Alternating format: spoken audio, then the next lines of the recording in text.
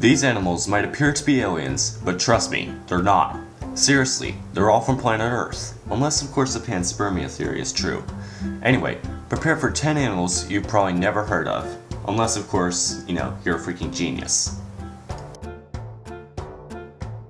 At number 10 is the Fossa, which you may have heard of if you've seen Madagascar, but it is real. It is from the actual island of Madagascar. It is a muscular tree mongoose and the largest mammalian predator in Madagascar. And yes, it hunts lemurs. At number 9 is this animal, which is a hummingbird.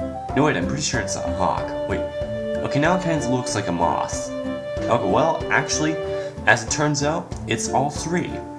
Kind of. It's a moth that looks like its father was a moth, but its mother was half hawk, half hummingbird. Not that I know how that would work out. But in its name, it is known as a hummingbird hawk moth.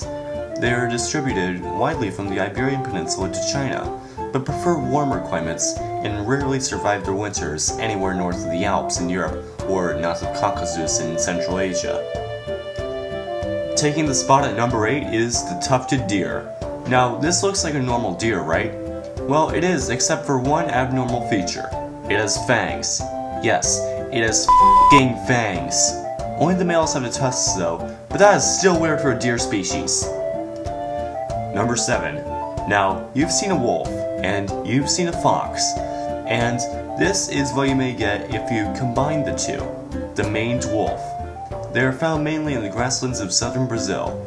It is basically really just a fox that forgot it wasn't a wolf. At number 6 is the national animal of Pakistan, and it is known as the markhor, which sounds a bit Vulcan to me to be honest.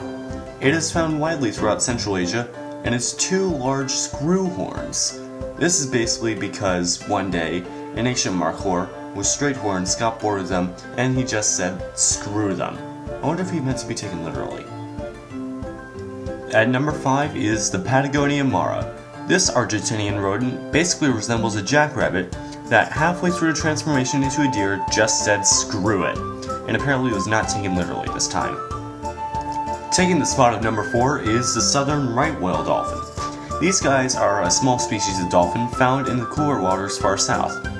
One weird thing about them is that this one has its entire body out of the water, yet it has no dorsal fin, which should make anything going underwater highly unstable.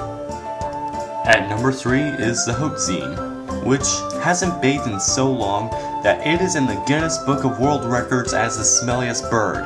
Yeah, seriously. This pungent odor is believed to be caused by its diet of green leaves and its uniquely, for birds, bovine digestive system. In second place is the frilled shark, which, despite how ugly it may be, is clearly the happiest creature in the ocean. It is widely known as a living fossil, although that's probably because humans just got tired of thinking that everything that lives underwater is an alien. At number 1 is the giant robber crab. The giant robber crab is a giant hermit crab, and when I say giant, I mean giant, because it weighs as much as 9 pounds. They are also known as the coconut crab, as they climb trees for coconuts. As it is 1 meter from leg to leg, weighs 9 pounds, and lives 60 years, it is basically at the limit of how big arthropods can grow with the current oxygen level of Earth's atmosphere. Amazing to us, but it is something insects of the Carboniferous period would laugh at. Thank you for watching this video. How many of these animals did you recognize? Tell us in the comments below, and be sure to subscribe.